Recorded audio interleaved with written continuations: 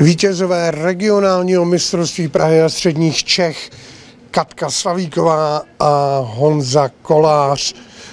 Určitě všichni vidíte, že se jedná o Honzu Koláře mladšího. Když už jsme ale tady mm, vlastně řekli něco o tatínkovi, eh, ten asi není moc rád. Tatínek není určitě rád, protože skončil na druhém místě a nějak se mu to asi moc nelíbí, jak tak vypadá Sinale.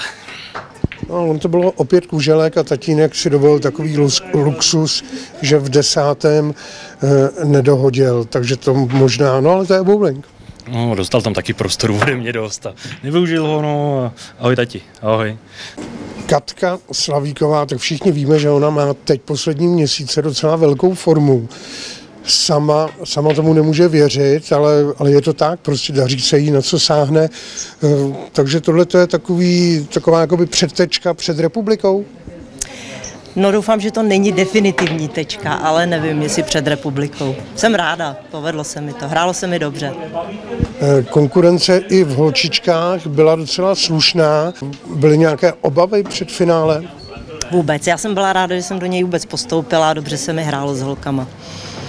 Eh, na rozdíl tady od Honzíka, tak eh, ten se měl pro titul.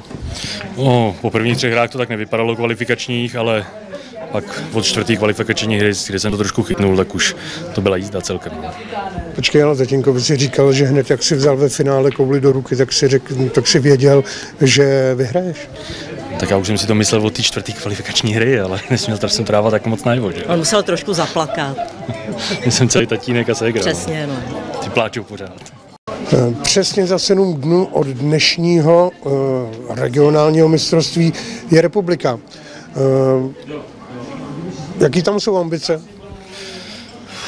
Uvidíme. V jednotlivcích vůbec nevím. V družstvech chceme něco zahrát a v těch jednotlivcích uvidíme, jak to povede, jak se nemazání, jaká bude forma. Budeš mít hlídání, Katko? Hlídání asi jo, ale dcera je nemocná, takže nevím, jak to dopadne. Naše liga bowlingová roztáčí